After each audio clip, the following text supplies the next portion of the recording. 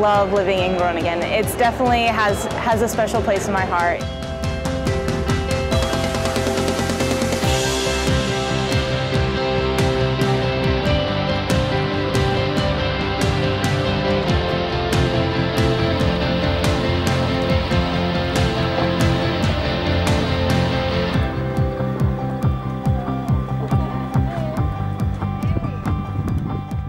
The culture is so different, but it's it's great. It's really great. The way people do things is so different. I love it. It's just been so fun because all the architecture here is so beautiful and fun to explore in a different way. And uh, being able to photograph that and bring that home is just going to bring back all these memories of living here. They love the sphere in the Netherlands, the sphere in Groningen. It's very student-oriented.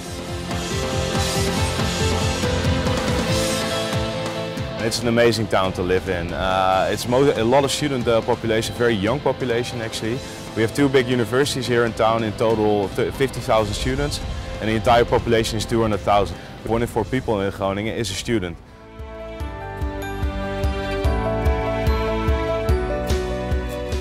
If it's like a financial reason, I can understand that, but UCM is really helpful with that. There's so many grants, um, loans you can apply for. Studying abroad is just as, if not more affordable than going to a university in the United States. Welcome to Groningen! No, it's Groningen.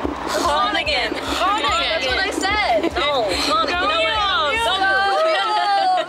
The biggest would be the language barrier, although in Groningen there's not as much of one elsewhere in Europe that I've experienced. Now, I get a lot of questions actually from, uh, from students before they come here, like uh, do we need to know, know Dutch?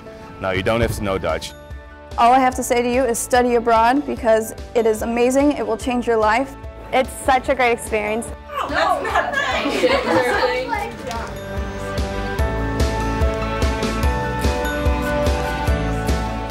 You should absolutely study abroad. I mean, it's so much fun. It's an experience you'll you won't get it anywhere else. You'll love it. Everything about it. It's amazing.